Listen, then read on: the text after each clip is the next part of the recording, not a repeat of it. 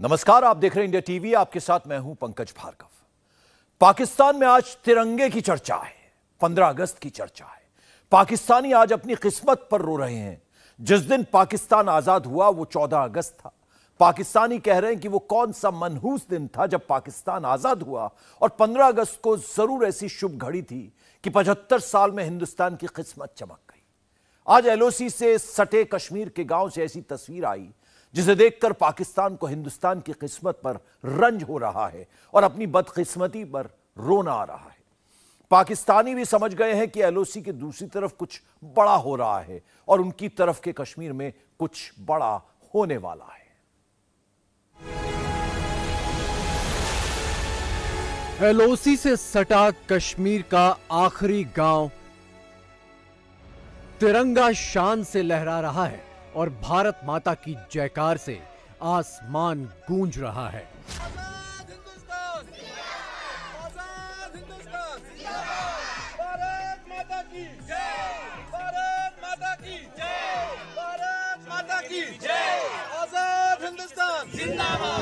कश्मीरियों के हाथ में तिरंगा झंडा देखकर और भारत माता की जय के नारे सुनकर इस्लामाबाद में बैठे शहबाज शरीफ का दिमागी संतुलन बिगड़ गया है।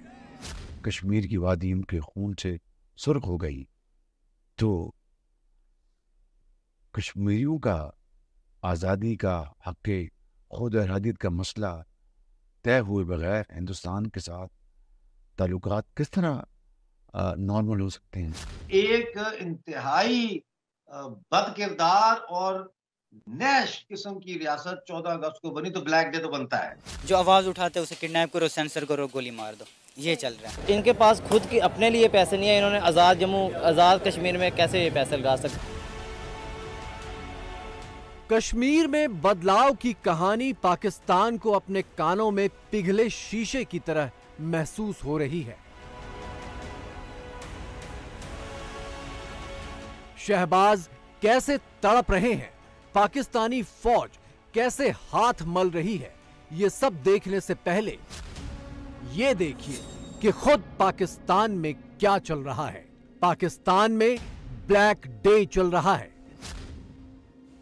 14 अगस्त को पाकिस्तान का स्वतंत्रता दिवस है, यानी भारत से एक दिन पहले। भारत में तो जश्न की तैयारियाँ चल रही हैं, लेकिन पाकिस्तान में 14 अगस्त के बॉयकॉट की तैयारी है। सोशल मीडिया पर खुद पाकिस्तान के लोग ये ट्रेंड चला रहे हैं। पाकिस्तानियों ने अपनी अपनी प्रोफ़ाइल पिक पर या तो काला बैनर लगा लिया है, या पाकिस्तान के झंडे को ही काला कर दिया है। इस नारे के साथ कि 14 अगस्त पाकिस्तान का इंडिपेंडेंस डे नहीं ब्लैक डे है। ट्विटर पर एक ट्वीट की जा रही है। व्हाट्सएप ग्रुप्स पर या सोशल मीडिया पर एक पोस्ट शेयर की जा रही है कि 14 अगस्त को ब्लैक डे का नाम दिया जा रहा है। इस पे तो कोई तबसरा करने की ज़रूरत ही नहीं। देखिए 14 अगस्त था ही ब्लैक डे क्योंकि 14 अगस्त को हिंदुस्तान के ज़िंदा जिस्म को अंग्रेज़ों ने अपने सहूलतकार मोहम्मद अली जिना के साथ और लियाकत अली खान के साथ और मुस्लिम लीग के साथ मिल के काटा। और वो इसलिए काटे क्योंकि ये जख्मी रहे हिंदुस्तान, और वो जख्मी रखा गया। और आज भी हिंदुस्तान के को जख्मी रखा हुआ है, क्योंकि पीओ जे के और पीओ जी है, वो आज भी पाकिस्तान के कब्जे में है। और ये कब्जा भी अंग्रेज़ों ने करवाया पाकिस्तानी सहूलतकारों के ज़रिए कि चौदह अगस्त को पैदा होने वाली जो नाजायज रियासत है, उसने एक साल के अंदर अंदर न सिर्फ़ ये कि जम्मू कश्मीर की रियासत पे हमला करके उसके टुकड़े किए, बल्कि अभी साल भी नहीं हुआ था कि बलूचिस्तान पे गन रख के तो इलाके पाकिस्तान के दस्तखत कराए। कश्मीर में तकरीबन एक लाख मुसलमान जो है, वो ये मरवा चुके हैं। तो ये एक इंतहाई बद किरदार और नैश किस्म की रियासत 14 अगस्त को बनी तो ब्लैक डे तो बनता है। शहबाज शरीफ या उनकी फौज अपनी आवाम के मिजाज और अपने स्वतंत्रता दिवस की ऐसी बेइज्जती से बेखबर नहीं है। इन्हें सब मालूम है, लेकिन ना तो इन्हें मुल्क की इज़्ज़त प्यारी है, ना अपने आवाम की सलामती। तभी तो पाकिस्तान और पाकिस्तानियों की फ़िक्र छोड़कर शहबाज शरीफ कश्मीर के नाम पर अपने खानदान की किस्मत चमकाने की जुगत में लगे हैं। आपने किसी एक तकरीब में फरमाया कि भारत के साथ हमारे ताल्लुकात बेहतर होने चाहिए। कश्मीर का मामला, तस्फिया तलब है। तो अगर आप लोगों को दोबारा हुकूमत मिलती है तो फिर भारत के साथ आप किस तरह के रवाबित रखना चाहेंगे?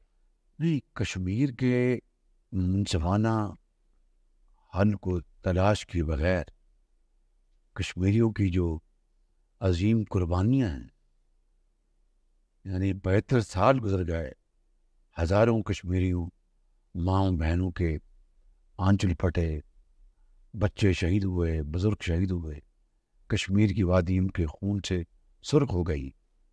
तो कश्मीरियों का आज़ादी का हक खुद इरादियत का मसला तय हुए बगैर हिंदुस्तान के साथ ताल्लुकात किस तरह नॉर्मल हो सकते हैं? तो मैंने जो बात की है कि हमने इस ख्वाहिश का इजहार किया है कि हमें अच्छे हमसाए की तरह रहना चाहिए, लेकिन उसके जो तकाजे हैं जो इश्यूज़ जिस तरह कश्मीर की बात हुई है, पानी का मसला है, इनको हल किए बगैर ये हालात किस तरह नॉर्मल हो सकते हैं? शहबाज शरीफ जिस कश्मीर को आज़ाद कराने का ख्वाब दिन में देख रहे हैं, वहाँ के हर हाथ में तिरंगा आ गया है और हर ज़ुबान पर भारत माता की जय है।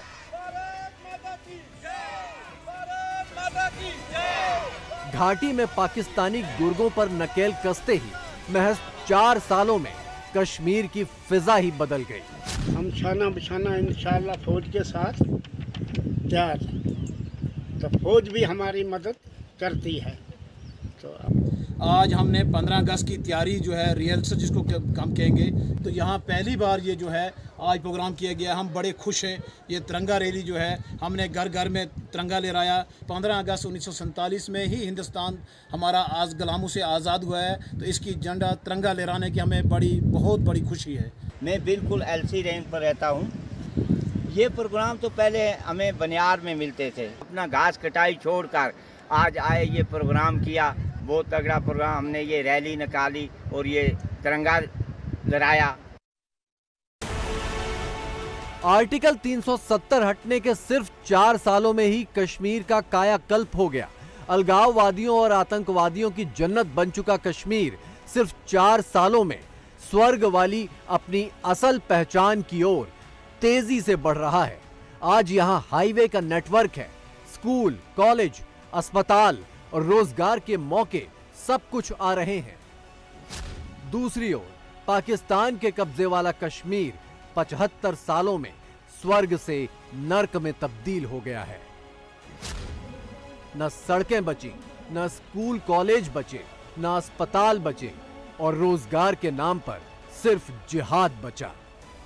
अब आप देखें कि वहाँ का बच्चा बच्चा ये कह रहा है कि हम इंडियन मुस्लिम हैं और प्राउडली इंडियन मुस्लिम है फ्रॉम कश्मीर। तो फिर पाकिस्तानी किस बिहाफ पे कहते हैं कि कश्मीर बनेगा पाकिस्तान या कश्मीर हमारा हिस्सा है? कश्मीर तो इसलिए है ना क्योंकि हमारे कायद अजम रहमत ने फरमा दिया था कि कश्मीर पाकिस्तान की शहर आ गया तो बस हम उसी वजह से कहते हैं कि कश्मीर पाकिस्तान का हिस्सा बनेगा। अगर हम वहाँ पे जाके उनके वसाइल को इस्तेमाल करके, उनको ही जोदोकोप करेंगे तो वो तो यही चाहेंगे कि भाई हम तो इंडिया में ही ठीक हैं, वो कम से कम ये चीज़ें तो नहीं करते हमारे साथ। सर, अभी भी ये वो ये बात कहते हुए दिखाई देते हैं कि हमारी छोड़ो, अपनी फ़िक्र करो।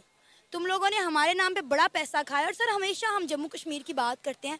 हमने कभी आज़ाद कश्मीर की बात क्यों नहीं की? तो कभी हमने जाके ये देखा कि आज़ाद कश्मीर के लोग किस हाल में रह रहे हैं, कभी हमने उनके हक के लिए आवाज़ उठाई कश्मीरी भी थोड़ा सा अपना किबला दुरुस्त करें ना उनको वो खुद देखना चाहिए अपने वसाइल को कि वो पाकिस्तान को क्या दे रहे हैं। जगमगाते जम्मू कश्मीर की तस्वीरें पीओके के लोगों ने भी देखी हैं। कश्मीर की तरक्की के किस्से भी सुने हैं। ये तस्वीरें और ये किस्से पीओके के लोगों के जख्मों को और भी हरा कर देते हैं आवाज़ दो आवाज़ दो हम जुल्म के खिलाफ हम जबर के खिलाफ पेश हो, पेश हो, जिसको चाहते दो हमने की हमने की हमने की हमने की हम आज़ाद कश्मीर को आज़ाद कश्मीर कैसे कह सकते हैं? वहाँ के लोग तो कहते हैं कि हम तो आज़ाद हैं ही। हमारी जो गवर्नमेंट है, वो ना कि आप उधर जाएँ तो उधर के ना होटल्स किसी काम के हैं, वहाँ पे ट्रांसपोर्ट सही नहीं है, रोड सही नहीं है। तो गवर्नमेंट को इस चीज़ को देखना चाहिए, बल्कि अगर हम भी जाते हैं तो हम भी ये चीज़ नोट करते हैं कि यार जैसा होना चाहिए, जैसे कि इंडिया में है तो ऐसा कि यहाँ पे भी होना चाहिए कि रोड्स वगैरह ठीक करनी चाहिए। पाकिस्तान के पास, खुद अपने पास कुछ नहीं है कि वो यानी कि जम्मू आज़ाद कश्मीर में इन्वेस्ट करें।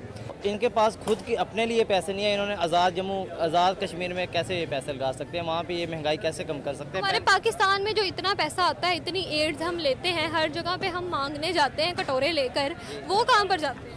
जी वो तो आपको पता है जैसा कि हम कर्जे में डूबे हैं तो हर साल ये सूद की यानी कि शरह बढ़ती है सूद ऊपर से ऊपर हमें लगाई जा रहा है तो उसकी वजह से हम जितने यानी हमने लिए उससे ज़्यादा हमें वापस करने पड़ रहे हैं। और इसके अलावा भी आज़ाद कश्मीर के लोगों को भी सपोर्ट करना चाहिए कि उनके लिए स्कूल्स हॉस्पिटल्स और भी बहुत सारी फैसिलिटीज़ है जो उनको देनी चाहिए।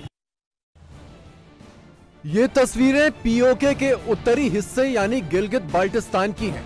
पाकिस्तान की जबरिया हुकूमत और फौजी जुल्मों के खिलाफ गिलगित के लोग रोज़ाना यूँ ही सड़कों पर निकलते हैं, नारे लगाते हैं और टायर जलाते हैं। कुदरती नेमत से भरपूर इस इलाके को पाकिस्तान ने अपने जैसा भिखारी बना डाला है। बदकस्मती ये है कश्मीर और गिलगित बल्तिस्तान के तमाम एलओसी को इन्होंने लॉक किया हुआ है। ये कोई 92 नहीं है 98 नहीं है, ये 2023 से देखें, यहाँ मुतालबा वहाँ किया जाता है, जहाँ पे सिविलाइज हो, जहाँ हर चीज़ हो यहाँ कोई ऐसी वो नहीं है, यहाँ अंधेर नगरी है, यहाँ वज़ी अजम रात को सोते हैं, सुबह वो जेल में होते हैं, बंदा जेल में रात को होते हैं, सुबह वो सदारत की कुर्सी पे आता है तो यहाँ तो कोई हाल नहीं है तो किससे मुतालबा करें? हमें उम्मीद है कि आइंदा आने वाले वक्तों में भी ये लकीरें ख़त्म हो जाएगी और हम आपस में मिलेंगे। पाकिस्तानी फौज पीओके से कैसी बेशर्म कमाई कर रही है? इसका सबूत है ये लड़की। फौज की शह पर पीओके की लड़कियाँ अगवा करके पाकिस्तान के दूसरे इलाकों में बेची जा रही हैं। जान बचाकर भागी एक लड़की ने पाकिस्तानियों को आप बीती सुनाई। कश्मीर की जगह रही है? भट्टी। भट्टी? हाँ कांजी भट्टी कांजी। भट्टी? हाँ जी ना थोड़ा अपना क्या है? नाम हाँ। सबा। सबा ना है? हाँ जी। ठीक है। बेची जिस फरोख्त की तो उसे कहना है। हाँ जी। जिस बेचे तो उसका कहना है। जानना। है? जम्मू कश्मीर को आज़ाद करवाने निकले पाकिस्तान के अपने कब्जे वाले कश्मीर में ही आज़ादी के नगमे लाउड स्पीकर पर फुल वॉल्यूम में बज रहे हैं।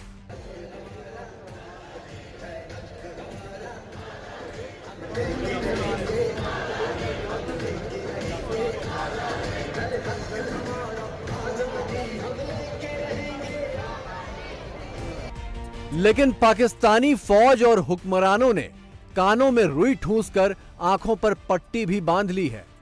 आपके हमारे ये जो बलोचिस्तान की हुकूमत है वहाँ की जो पीएम है आपको शायद पता हो उन्होंने पीएम मोदी से हाँ, मदद मांगी है बिल्कुल। मांगी है कि यार हमें पाकिस्तान से निकालो हमने इंडिया का हिस्सा बनना है। और यार लानत ऐसी हुकूमत पे यकीन करें कि जो अपने लोग ही नहीं कह रहना चाह रहे हमारे यहाँ पे अपना एक सूबा ही नहीं रहना चाह रहा हमारे मुल्क में तो हम कैसे रहेंगे यहाँ पे? सोशल मीडिया पे कुछ दिन पहले मोदी ने एक बयान दिया था कि भाईजान हमारे से पाकिस्तान की अब जंग करनी बनती ही नहीं पाकिस्तान अपनी कौम खुद मार रहा है। कैसे मार रहा है? ऐसे मार रहा है।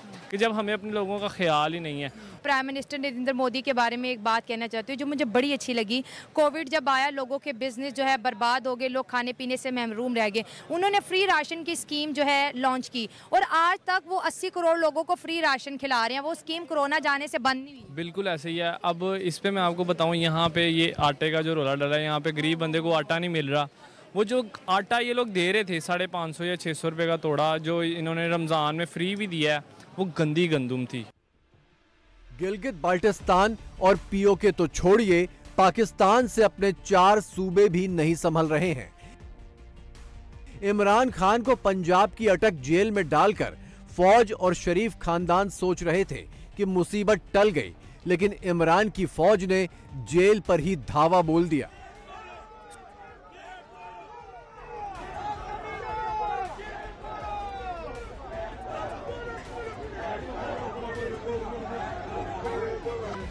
स्वतंत्रता दिवस के लिए ब्लैक डे की ट्रेंडिंग फौजी तानाशाही को भी खुलेआम ललकार, चारों सूबों में मार काट और दिवालिया हो चुकी सरकार। पाकिस्तान के टूट कर बिखर जाने के सारे संकेत एक साथ दिखने लगे हैं। मैंने अभी भी यहाँ पे कुछ लोगों से बात की है तो वो कहते हैं कश्मीर का मसला जहाद के बगैर हल नहीं होगा, हमें जहाद करना पड़ेगा। उनको फ़ीड किया गया। पाकिस्तान में यह है कि जी फ्री थिंकिंग है नहीं, यहाँ पे न्यूट्रल पर्सपेक्टिव होता नहीं है। जो आप, इनको फ़ीड किया जाए, ये भेड़ चाल है। जो फ़ीड किया जाए, ये मान लेते हैं। ठीक है? तो इनको लगता है कि यार, मौलाना अबुल कज़ाम, कलाम आज़ाद ने कहा था, उनसे जब पूछा गया उन्नीस में, पाकिस्तान का फ्यूचर क्या है?